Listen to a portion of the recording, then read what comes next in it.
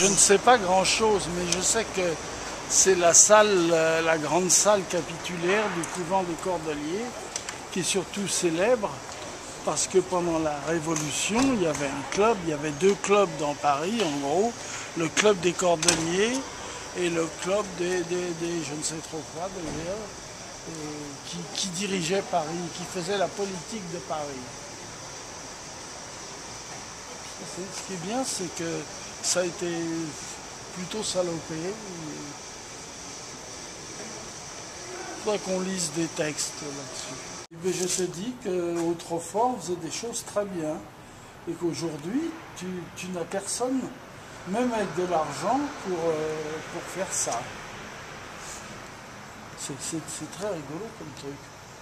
Je sais pas ce que ça devait être. Ça devait être une, ça devait être une, une fontaine, parce que je pense que... Oui, ça devait être une fontaine.